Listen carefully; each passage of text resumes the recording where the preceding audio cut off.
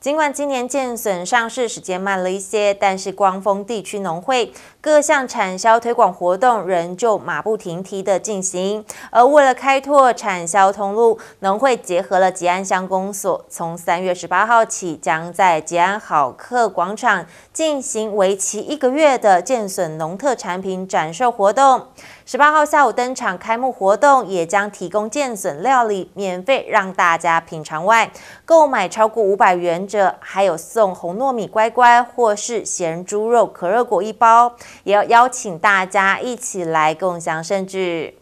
光复乡柴巴朗部落三月限定的时令农特产剑笋，尽管今年上市时间慢了些，不过光丰地区农会各项产销推广活动仍旧马不停蹄的进行。所以三月十八就在我们的好客广场有一个建竹笋的实体的行销。哦，当天的三月十八的下午，哦，我们预定三点半哦开始开卖。希望我们的消费者能够莅临现场的购买我们的建筑笋。除了建筑笋以外呢，我们还有许多我们在地的很多的优质的农特产品也做展售啊，哈。光丰地区农会连续三十年举办健笋行销活动，今年选定在吉安乡著名的黄昏市场好客广场前办理漫游健笋区开幕活动，从三月十八号起开卖抢先。十八号开幕当天，除了现场嘉宾示范简单的健笋料理，以及专业主厨所烹饪健笋美食免费吃，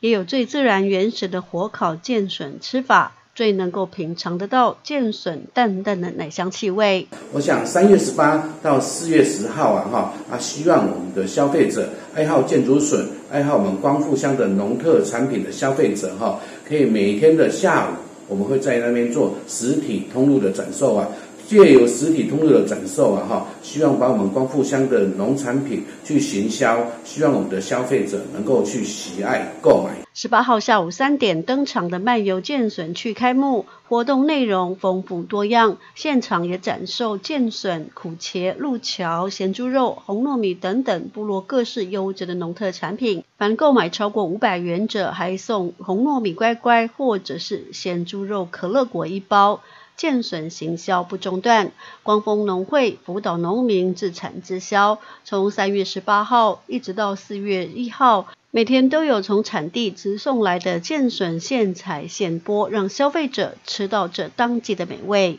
记者石玉兰光复采访报道。